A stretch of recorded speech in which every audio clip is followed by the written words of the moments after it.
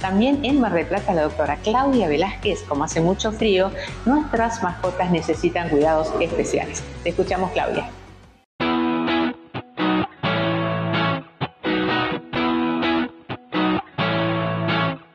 Hoy vamos a hablar un poquito cómo nosotros nos vamos a enfrentar con nuestras mascotas a estos días que empiezan ya medio fresquitos. Eh, si tenemos un cachorro, recuerden tener su calendario de vacunas al día, sobre todo la vacuna de bordetela, que es la, la famosa tos de las perreras, para evitar que eso se complique y se nos haga bronquitis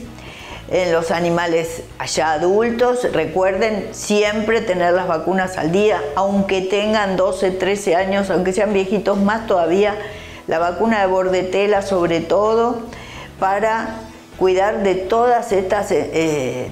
laringitis que se producen en invierno, que son bastante contagiosas de perro a perro. En caso de que nosotros tengamos razas de pelo corto, recuerden que como ellos no están acostumbrados a estar todo el tiempo afuera, sino que los tenemos adentro de nuestros departamentos, los sacamos a hacer sus necesidades, abríguenlo porque sufre mucho el cambio de temperatura, sobre todo que los sacamos de la estufa y los mandamos al frío a pesar de que eh, ellos en la naturaleza tendrían que no tener problema, pero no están habituados a estos cambios de clima. Así que los abrigan con una mantita, los perros grandes, sobre todo los, los que son viejitos, también tener mucho cuidado con los cambios de temperatura